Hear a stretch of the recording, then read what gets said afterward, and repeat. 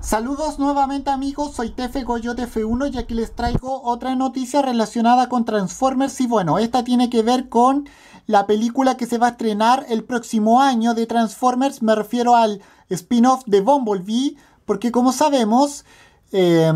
Bumblebee para eh, su spin-off de, eh, del próximo año ya no va a tener la forma alterna de un Camaro, ya no va a ser, ya no va a tener el modo alterno de un Camaro como lo que tuvo entre entre la película de 2007 y la última que se ha estrenado ahora en Estados Unidos y, que ya está pronta por estrenarse acá en Chile de Transformer el último caballero. Porque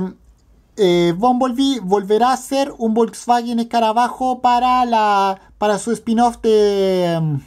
de 2018 y bueno,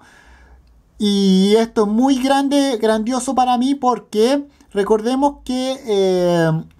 recordemos que Bumblebee tuvo el modo alterno de un Volkswagen Escarabajo o Volkswagen Beetle, como quieran decirle a ese auto. Eh, en, en, la primera serie de los Transformers, Transformers Generación 1, la cual se transmitió por cuatro temporadas entre los años 1984 eh, y 1987. Eh, recordemos que así fue en, en, en Transformers eh, Generación 1 y bueno, y me imagino que esto debe ser una referencia a,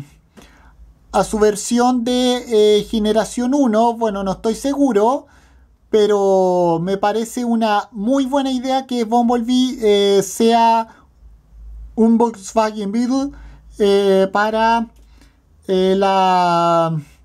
para la para su para su spin-off. Y bueno espero que sea espero que la película espero que la película spin-off de Bumblebee tenga tanto éxito más éxito que eh, Transformers La Era de la Extinción y Transformers El Último Caballero que como veo no han sido muy buenas en como lo esperaba no han sido muy buenas así algo así como en, en crítica pero bueno ahí vamos viendo con el tiempo cómo va a ser el spin-off de Bumblebee porque recordemos que esta película se estrena en 2018 y bueno con esto me despido nos vemos adiós que chao